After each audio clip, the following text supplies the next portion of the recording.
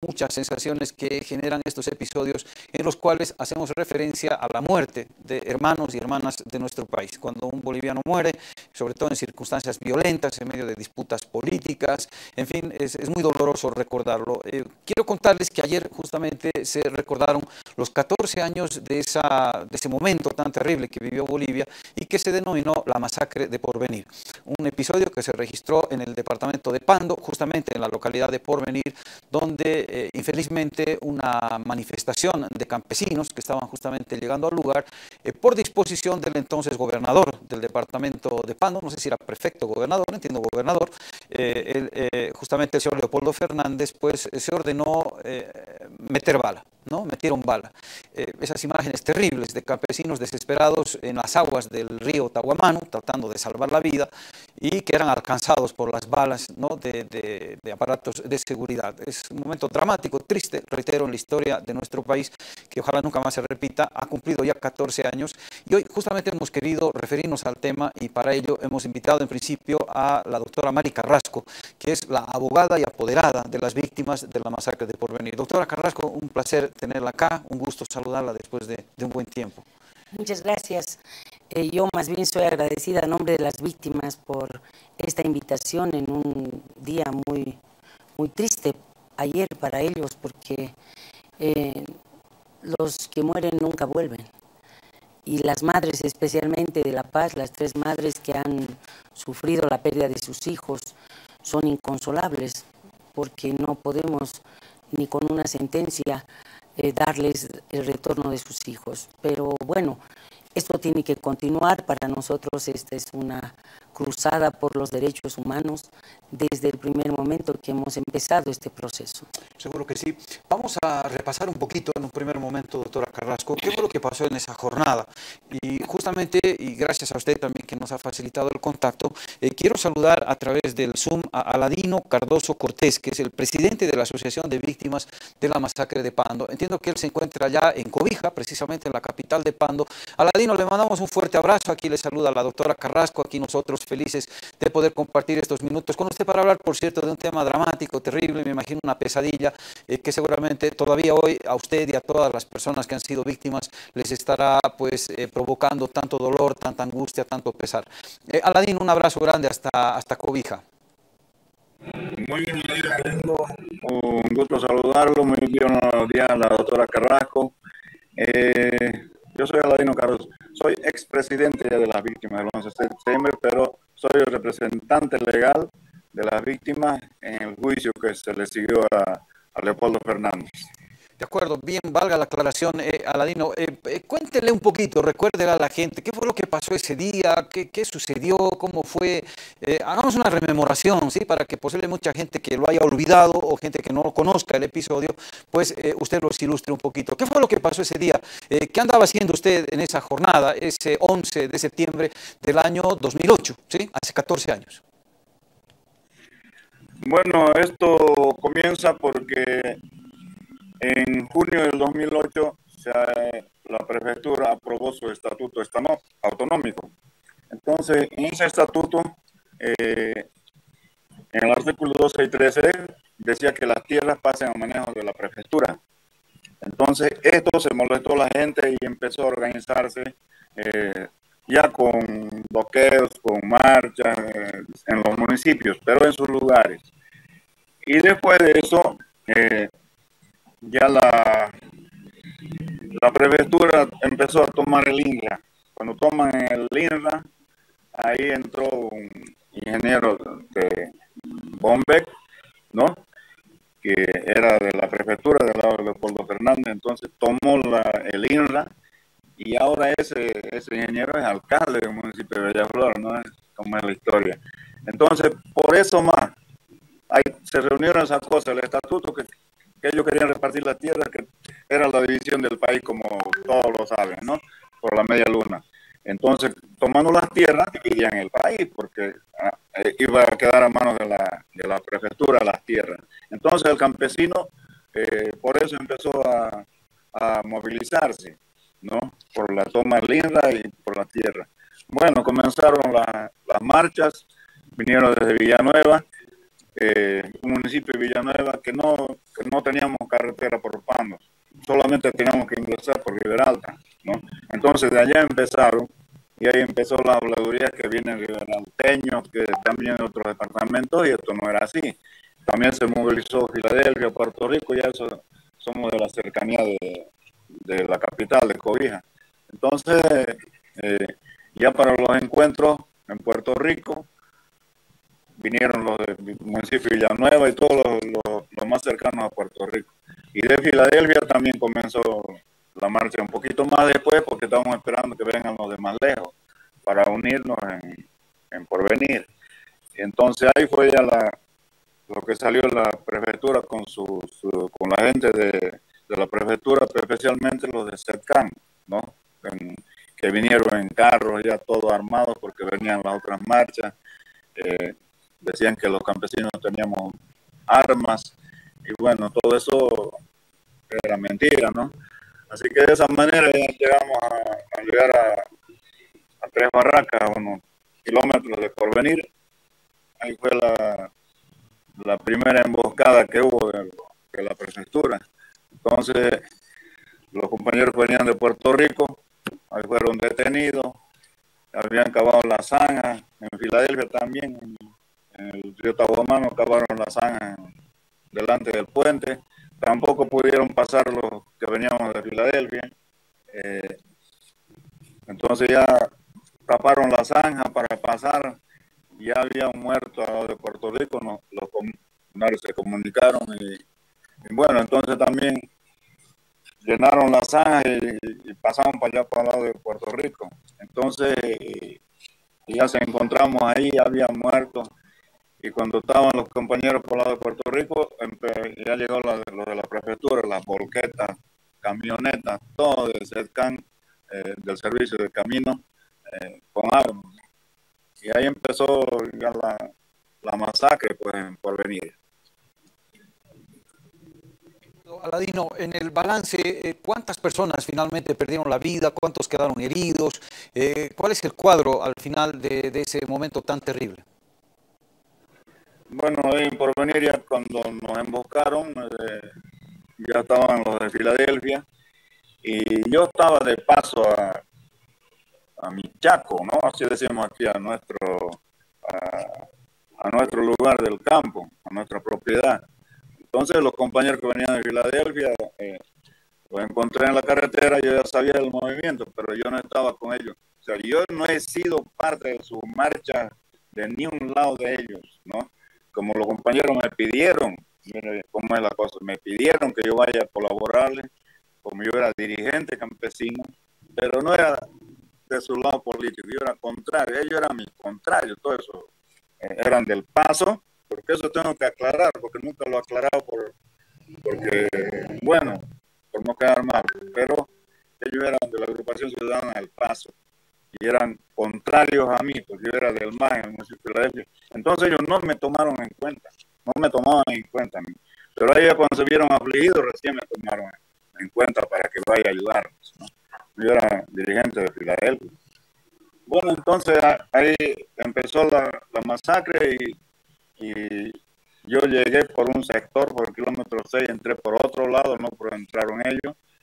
Y bueno, ya contamos allá, hicimos, yo quise hablar con el comandante de, la policía porque él era de mi pueblo, especialmente era mi amigo, así que, bueno, pero no hubo nada de eso, no se pudo. Eh, ya comenzó la balacera, y yo dejé mi moto atrás de una volqueta porque las volquetas pusieron trancándonos la, carretera, las calles. Eh, bueno, ahí fue donde me balearon, pues a mí, y ya cayó uno primero en mi delante, ya fui a correr a, mi moto y, monté en mi moto, estaba saliendo, había una un charco de agua y me levanté de la moto corriendo eh, para pasar por la gente que estaba tapando las calles, también todos armados por el medio, tuve que pasar. Y cuando pasé de ellos, ahí fue que me largaron las ramas de balas de atrás. Bueno, ahí me llegó este, dos tiros aquí en, la espalda. Una bala pasó y la otra la tengo hasta hoy día aquí en el pecho. Y bueno, ya me llevaron al hospital.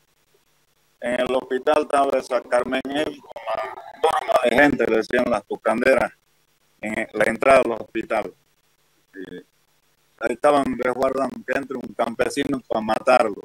Y como ahí no me, no me conocieron, parece, eh, no tenía rostro de campesino, no sé qué decían, pero la cuestión es que me dejaron entrar.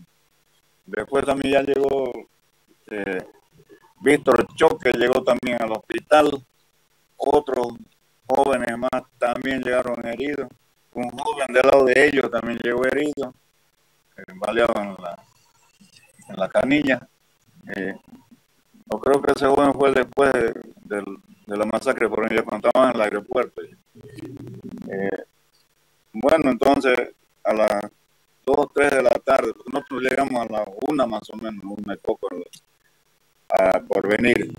Y después a las 4 de la tarde se, abalanzó la gente de ellos para sacarnos a nosotros, estábamos en, en terapia intensiva, estábamos, porque yo estaba baleado del pecho, y me hicieron un drenaje por la costilla para sacarme la sangre, y bueno, cuando me hicieron el drenaje recién me puse un poquito mejor porque iba saliendo la sangre eh, de adentro, ¿no? de, los intestinos.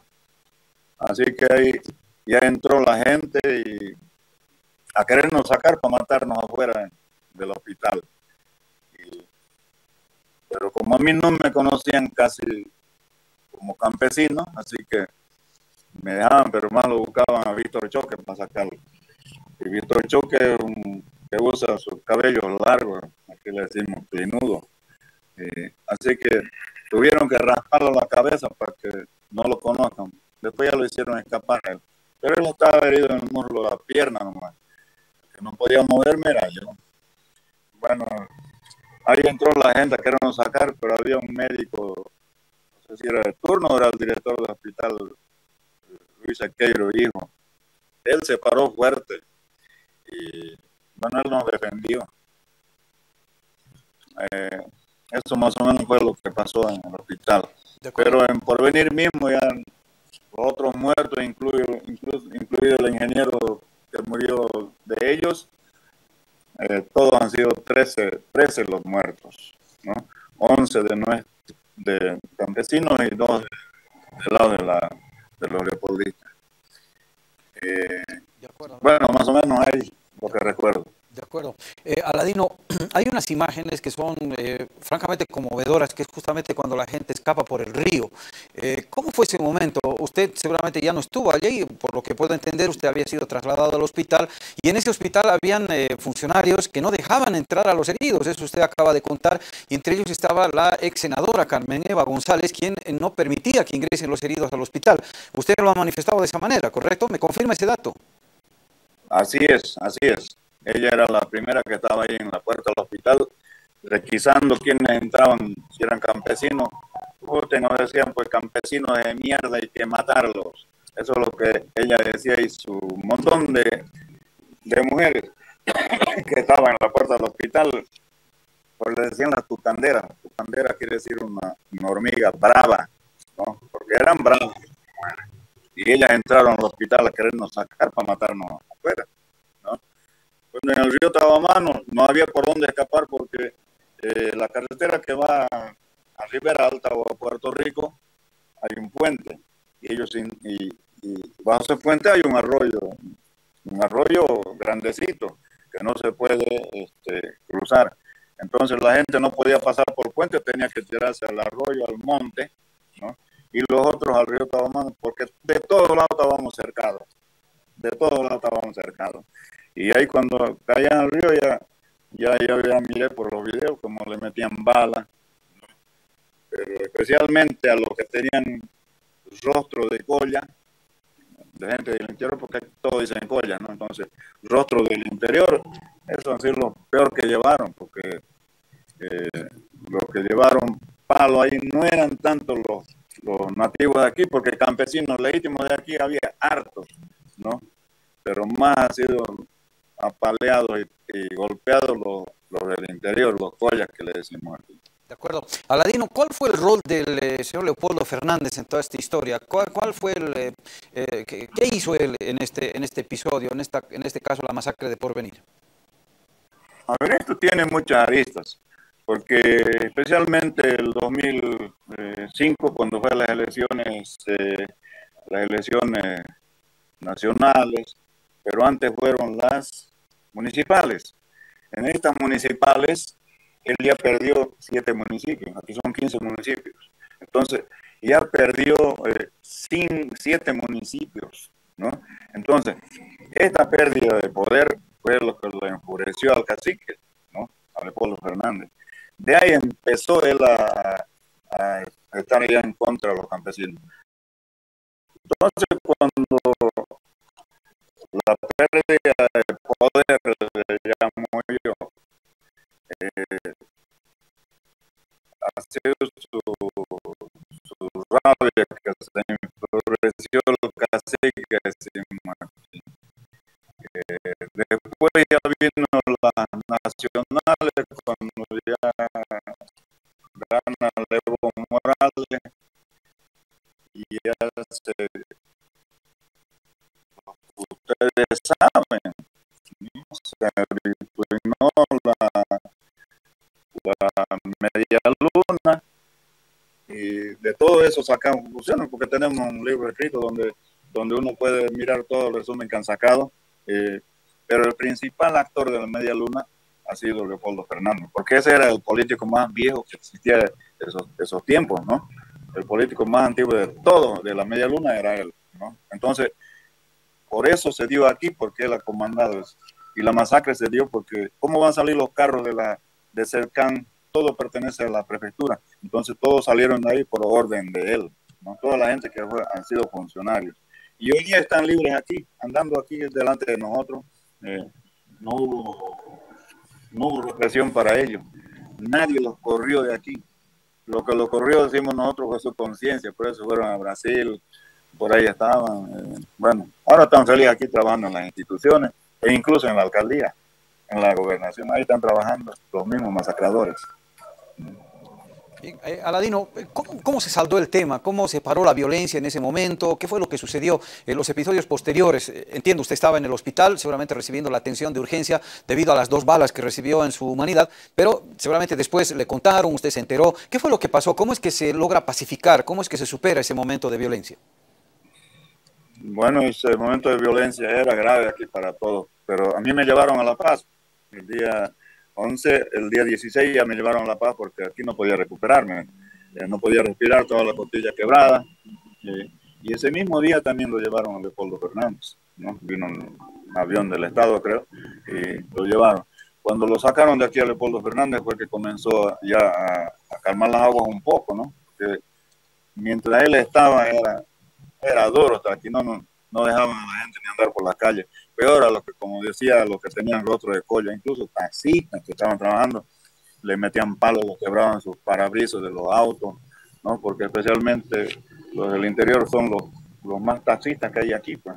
Y ahí empezó a, a, a, calmar un poco, ¿no? Porque yo no estaba aquí, también yo estuve casi más de un mes en La Paz, en la clínica de los cubanos haciéndome curar. Pero también cuando he vuelto, igual me quisieron perseguir. Bueno, pero como eh, yo nunca me humillé a ellos, siempre he enfrentado, porque soy uno de los que en Filadelfia he, empezado a, a pararle, porque ellos andaban ya todos esos tiempos con su palabra de autonomía, autonomía, y yo empecé a reflexionar a la gente que esa autonomía es de ellos, porque ellos quieren autonomía para, para saquear, para robar al, al, al Estado, y le decía que la comunidad ya tenemos autonomía, los medios somos autónomos. Entonces, eh, bueno, y empezó a pasar la cosa, aunque todavía esos tiempos que yo llegué, he ido a Michaco, no pude quedarme allá porque que mandaron algunos brasileños por ahí a buscarme a mí, a algunos compañeros, entonces, eh, bueno, cuando ya se lo llevaron a pueblo comenzó a calmar un poco las cosas. Aladino, eh, quiero consultarle eh, sobre estas imágenes que estamos viendo hace un ratito. Eh, anoche entiendo, ah, no, antenoche en realidad, ¿no es cierto? Fue la víspera justamente del día en el que se completaban los 14 años de la masacre de Porvenir. tuvieron ustedes un acto allá, estamos viendo las imágenes, sí, justamente gentileza de, las, de las personas que están asociadas, ¿no es cierto?, dentro de este esquema de víctimas de porvenir. Ahí está justamente, se, hizo esta ceremonia. Esto fue, entiendo, el viernes en la noche, ¿verdad? Eh, Aladino, usted estuvo allá, me imagino. Sí. Eh, bueno, esto, mire, fue el viernes en la noche. estuve con Juanito Apaza y Víctor Choque, los únicos tres víctimas, eh, pero el invitado he sido yo. Imagínense ustedes, como cuando yo salgo de la presidencia de la Asociación de Víctimas, eh, bueno, no sé qué es lo que querían los compañeros, porque la verdad de la cosa me querían que yo salga, especialmente, mire, para que nos callemos, y eso me faltaba, para que nos callemos, para que nadie hable de las víctimas. Claro, seguro que recibieron dinero, porque, porque muchos se han, se han retirado, han desistido del juicio, la doctora sabe todo esto, han desistido del juicio y de esa manera eh, yo denunciaba, denunciaba y de esa manera me tenían rabia, ¿no? Porque, porque no les gustaba que yo, denunciaba. Entonces, la Asociación Vista no estaba haciendo nada. La sede que yo he gestionado, tantas viviendas que para varios municipios he, gestionado, he recibido viviendas, y la sede aquí en Cobija, una sede muy hermosa que, no, que he gestionado cuando estaba Evo y Quintana fueron los que me ayudaron a, tener la sede, está en el propio Parque Piñata. ¿no? Entonces, toda esa sede destruida, ahí están los maleantes, parece que se mataron y adentro estaba puro sangre, porque hace días que yo fui a, dar una inspección, eh, todo abandonada. Como siempre decimos, ¿no? los dirigentes ahora ya no son como los que éramos antes. Ahorita los dirigentes buscan, pelean la dirigencia porque de allá salen concejales, salen asambleístas, alcaldes, todo, porque siendo dirigentes de las comunidades o de los municipios, ya salen autoridades. Entonces es la pelea ahorita que existe. Este acto que yo fui invitado fue una iniciativa de, de organizaciones sociales, de gremiales, eh, transporte libre, organización GEMMA, hay Pensamiento Máutico, hay otros más que no, no me acuerdo bien porque no, no los conozco casi, ¿no? Entonces, ellos se organizaron, eh, especialmente a cabeza de los gremiales, para que es vanguardia gremial, eh, se organizaron para, no, para que no se olvide, porque ya son tres, cuatro años desde que yo salí que no hacen nada la otra dirigencia como le digo, solo entraron para sacarme a mí porque les incomodaba. Eh, bueno, entonces, ahí fue que, participamos, pero por otras organizaciones. Entonces, como estas organizaciones invitaron a la gente para que asista a ese, asista ese acto, eh, ahí vieron por las redes sociales la invitación los, eh, los otros de las víctimas o las instituciones descentralizadas del gobierno. Entonces, con eso se movilizaron en menos de 24 horas, limpiaron esa sede, arreglaron todo para ellos también hacer un acto. Hicieron, trabajaron toda la noche para hacer un acto. Imagínense, no, no hacían nada ya hace 3, 4 años. Nada no se veía del 11 de septiembre. Y, entonces todos sacamos la conclusión que era que hubo platita por el medio para que nos callemos y nadie hable de la masacre. Eh, gringo, eso tiene que quedar bien claro. Así que esta iniciativa fue de otras organizaciones, ¿no? Entonces, la verdad, donde sigo siendo protagonista. Pero, eh, y han dicho que todos los años se van a hacer mejor y van a repetir, pero otras organizaciones.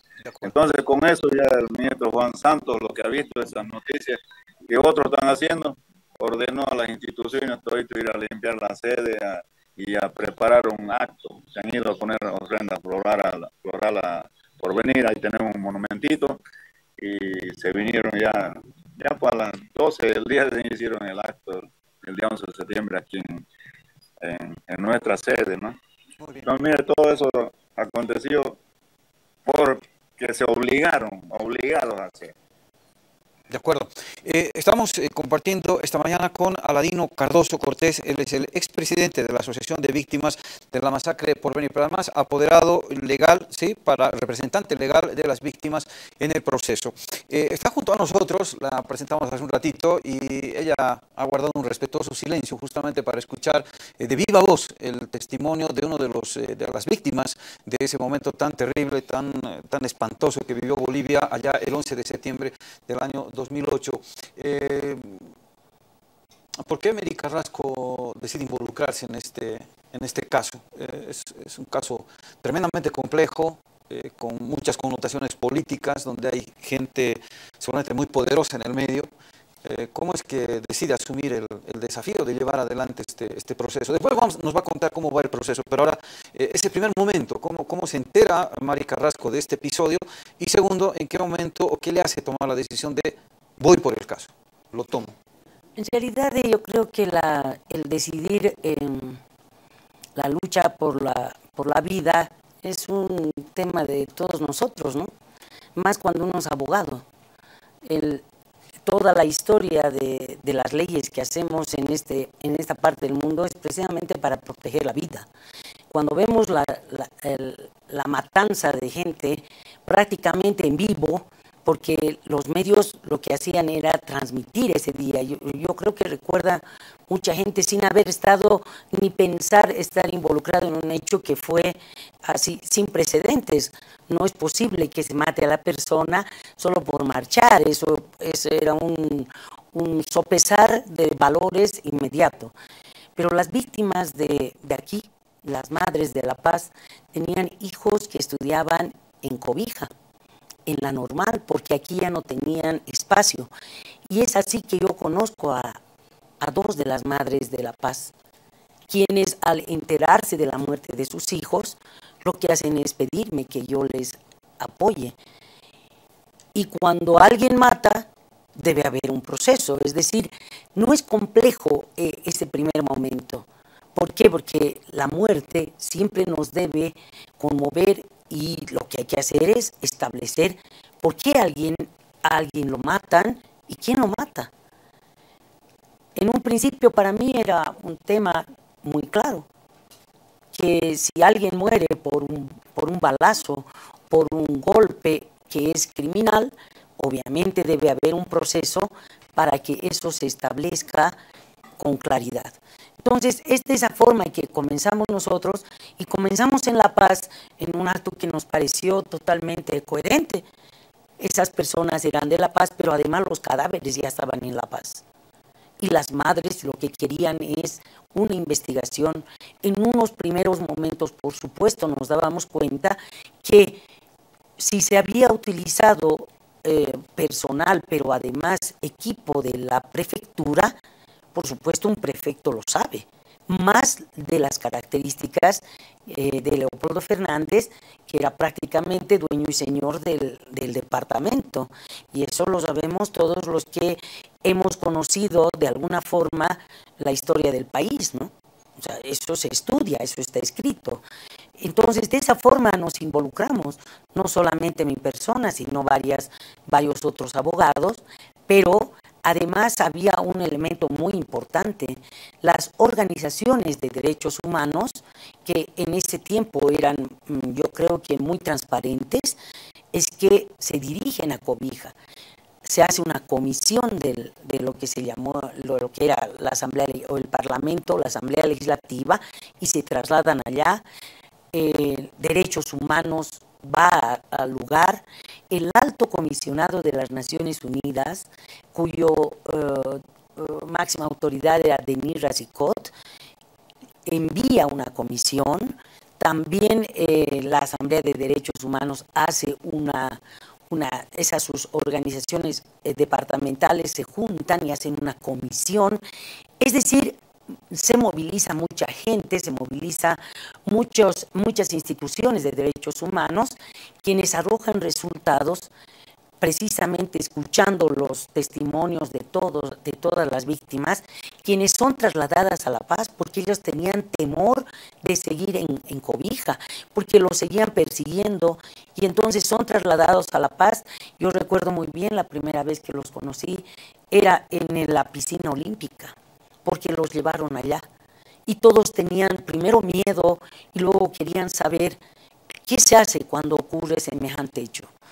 Y por supuesto en un Estado democrático lo que hay que hacer es acudir a la instancia que dice la ley, es el Ministerio Público. Y por eso empezamos un, proceso penal. De acuerdo. Eh, recuerdo, no sé en qué momento cronológicamente estaría el, el informe de una comisión que hace UNASUR, justamente la Unión de Naciones de Sudamérica. Eh, recuerdo el informe Matarolo, ¿no? que fue justamente eh, el que dio luces tras una investigación. Eso fue luego, ¿verdad? sí, eso fue luego, porque una de las primeras conclusiones de este hecho gravísimo contra la, la, vida de las personas fue el alto comisionado de Naciones Unidas, ¿no? Y es que es la instancia que califica de masacre es decir, la masacre técnicamente no es un lenguaje producto del proceso, sino producto del informe que ha hecho esa instancia que tenía eh, asiento en La Paz, en Bolivia, porque ahora ya no existe. El alto comisionado eh, ha sido retirado, creo que hace unos años, entonces ellos han dejado ese documento que está en todas las instancias internacionales y ubican eh, en el contexto histórico este hecho como una masacre que había ocurrido en Colombia.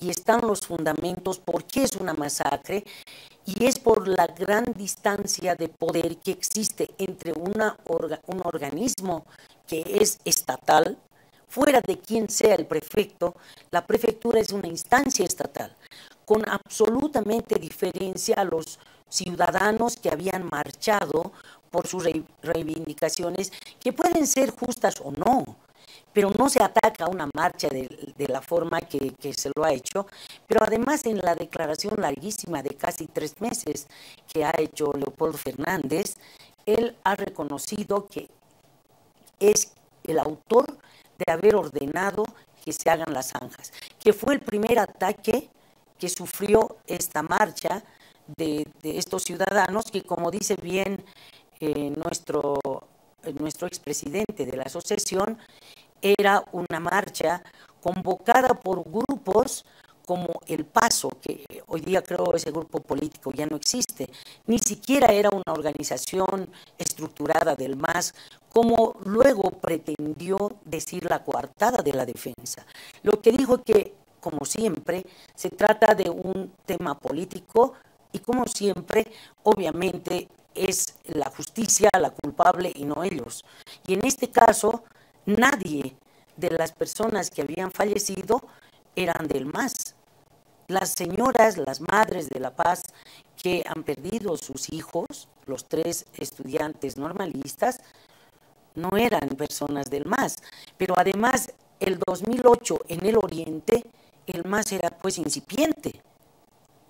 O sea, si, si empezamos a recorrer la historia del país, el MAS no tenía una presencia, a pesar de que había perdido parte de su poder Leopoldo Fernández, ¿no? Las organizaciones, otras organizaciones como El Paso, como otros líderes regionales, tenían parte de ese poder pero no era técnicamente el más. De acuerdo. Eh, doctora Mari Carrasco, eh, ¿qué ha pasado en estos 14 años? ¿Dónde está en este momento el proceso? Nos imaginamos que ya está cerrado con los, eh, las personas condenadas, cumpliendo sus sentencias, o, estamos ahí todavía en una situación de, de indefiniciones. Mm, sí, el decir que la justicia es una justicia lenta, es una justicia que mm, no concluye los casos, creo que no es un consuelo. Eso no puede ser. Es decir, no podemos partir de un hecho que no es el correcto.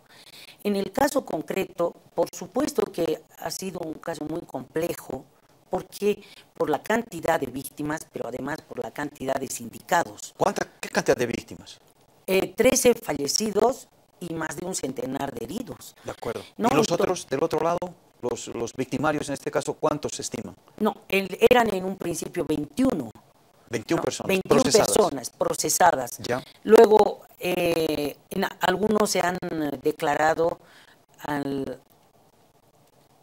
es decir, han reconocido el hecho. Se han acogido al, proceso abreviado. Al proceso abreviado. Su culpa, Exactamente. Y luego hemos continuado con seis, de los acusados. Sí, alguno que otro ha fallecido en el tiempo. Y los hechos eran, a pesar de la claridad en los informes, eran también complejos, pero además este es un caso, es el primer caso que se lleva en forma íntegra en el sistema acusatorio penal. ¿no? Otros casos de esta clase de connotación son eh, bajo el sistema inquisitivo, es decir, un sistema en el que no hay todas las garantías para los sindicados. Nosotros hemos cuidado desde el principio que a pesar de que estén acusados, eh, acusadas estas personas, es que tengan todos los derechos para su defensa, porque ese es el sistema constitucional democrático. Es así que prácticamente casi una década es que son los cuatro o los años que nos ha llevado la sentencia. Ellos técnicamente están condenados, están condenados por delitos de homicidio, de lesiones, pero calificados estos como delitos de lesa humanidad porque tenemos convenios entre Bolivia y otros estados. Entonces, luego vino la apelación, que es una segunda instancia, toda vez que este es un país de, de doble instancia. No es un tribunal simplemente el que emite una sentencia, sino hay una apelación acudieron a la apelación y nosotros también por la sanción. La sanción es, eh, es mínima respecto al hecho. Y luego la casación. ¿Qué pena hubo? De, con, qué pena los condenaron a estos ciudadanos? Bueno, Leopoldo Fernández está condenado por 13 años de cárcel. 13 años de cárcel. ¿Cuándo ustedes pedían? 20 es el, el la máxima pena. 20. Sí. Eh, ustedes apelaron para que se le imponga 20. Claro, se apela del, del, hecho y se apela de la sanción. De y nosotros hemos ido también la fiscalía por la sanción. Entonces, ¿qué es lo que ha ocurrido? Luego viene el auto de vista, no, el auto de vista y ratifica la sentencia. Y luego viene la casación. Llega a Sucre y ahí viene el movimiento político en el que se rompe el Estado democrático en Bolivia.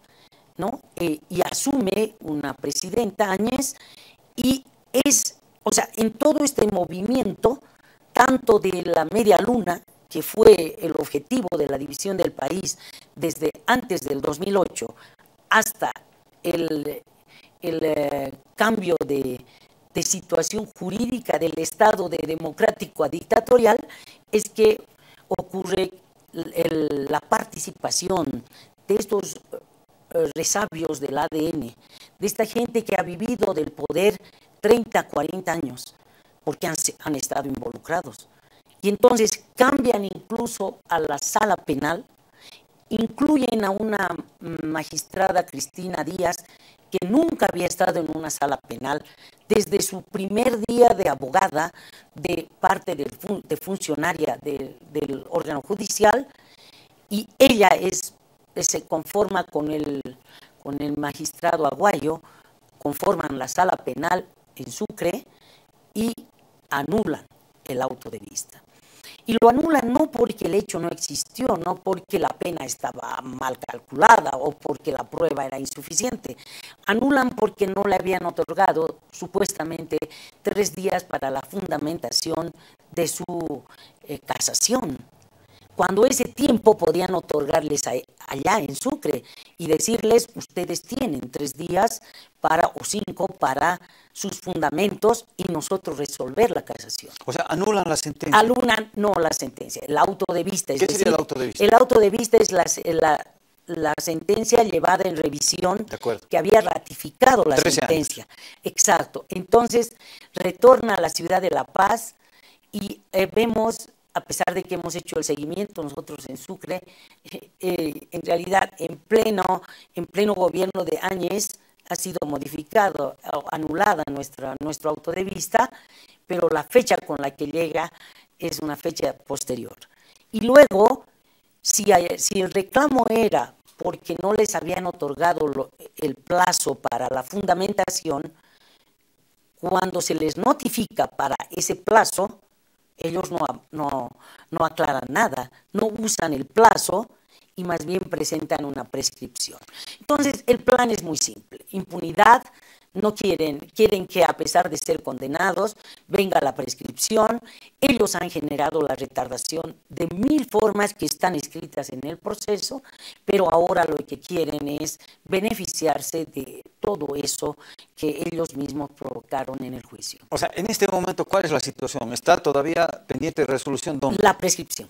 Primero, ellos han pedido prescripción. Es hoy la audiencia. Hoy. Claro. Y él está pendiente el remitir a Sucre el proceso, nuevamente. Ajá. Prescripción sería que eh, son inocentes. en realidad, que no pasó nada. Impunidad.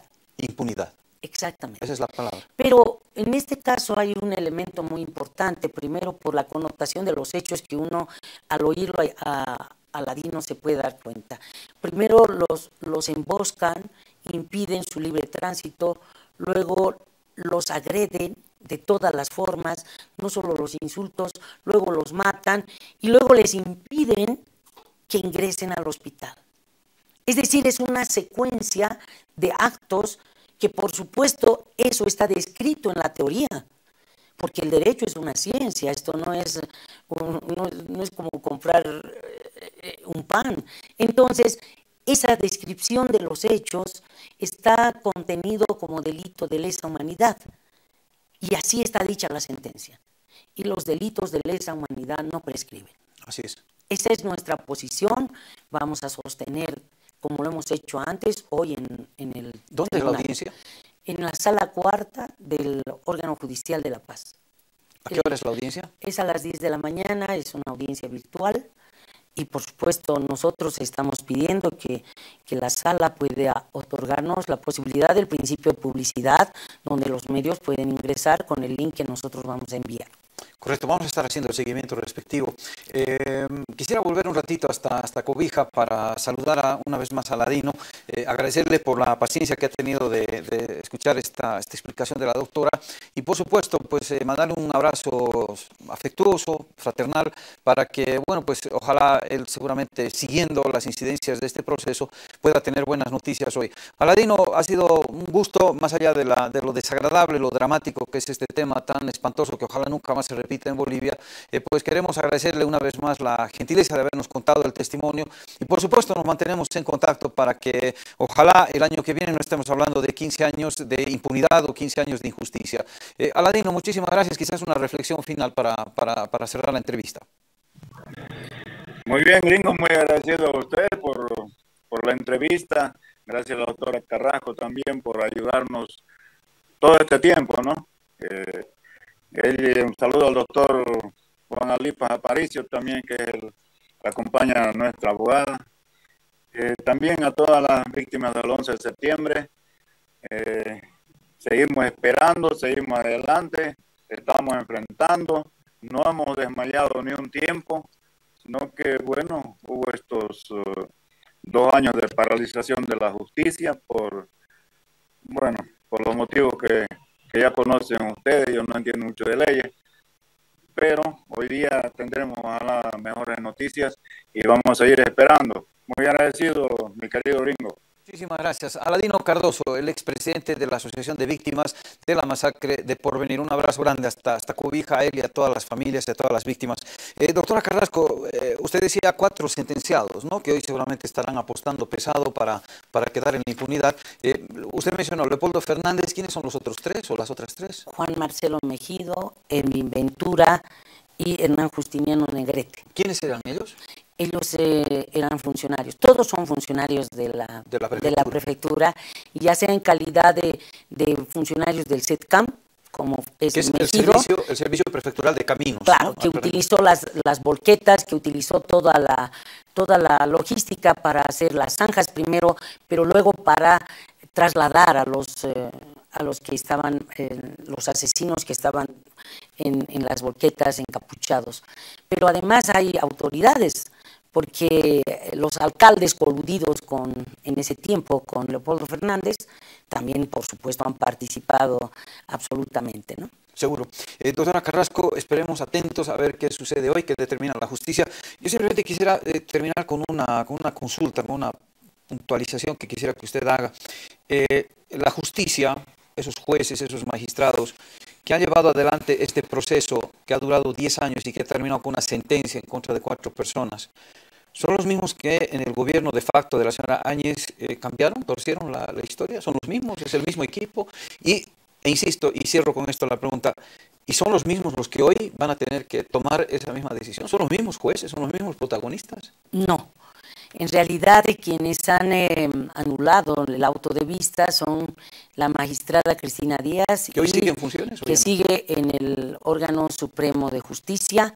También está el, el, magistrado Aguayo, que sigue, él está en la sala, sigue en la sala penal en el órgano judicial de justicia. Los dos vocales que están ahora a cargo en la sala penal, en cuarta, en La Paz, son dos eh, vocales nuevos porque la tardanza desde el 2020 hasta el 2022 tiene muchas, muchas uh, respuestas, pero una de ellas es que no había vocales. ¿no?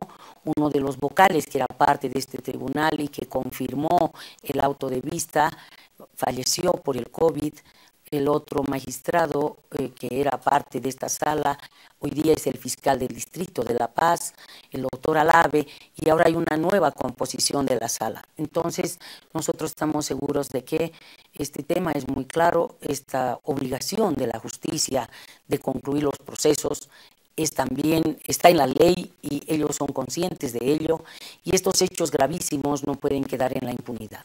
Pero es lo importante, no puede haber impunidad porque impunidad es sinónimo de repetición. Uh -huh. Cuando alguien queda impune o alguien ve que no pasa nada en este país, ¿no es cierto? Que puede salir y matar a la gente y no pasa nada, lo más probable es que se repita, ¿no? Y eso es lo grave, ¿no? Lo grave. Ya lo hemos experimentado en 2003, parece que no habíamos aprendido la lección, se repitió en 2019. No sé qué estamos esperando para de una vez sentar un precedente y que quienes salen a matar a la gente pues respondan ante la, ante la ley. Casi nada, es claro. más, ¿no? eh, sí, el desprecio a la vida que nos muestran esta clase de personas, yo creo que no puede difundirse como lo estamos viendo. La muerte no es una moneda de curso diario, tiene que haber una sanción, tiene que haber consecuencias de esta clase de hechos gravísimos que dañan irre irreversiblemente a las familias. Las tres madres de la paz no tienen pues consuelo y cuando se ha anulado el auto de vista no había cómo explicar lo que había ocurrido. Seguro que sí. Doctora Carrasco, estaremos atentos, vigilantes a ver qué decide hoy la justicia.